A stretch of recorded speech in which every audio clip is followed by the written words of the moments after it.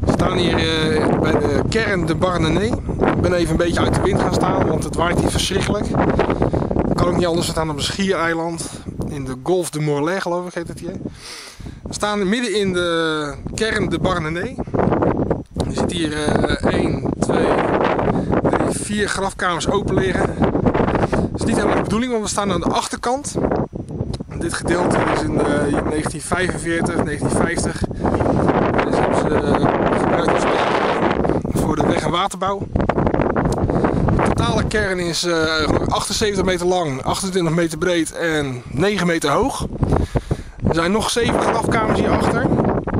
Aan die kant. Dan ga ik daar even kijken. Want ja, dan kun je niet praten vanwege de wind. Zou ik ook het geluid even zachter zetten. Maar nou goed, je kunt het goed zien.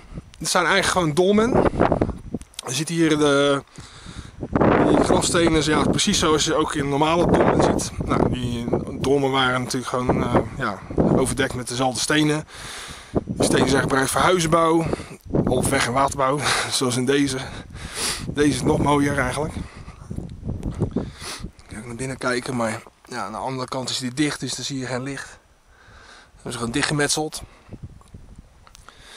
Het is best wel een uh, uithoek hier. We gaan even een rondje om de kern heen lopen. Kun je ook precies uh, zien hoe groot het eigenlijk wel niet is.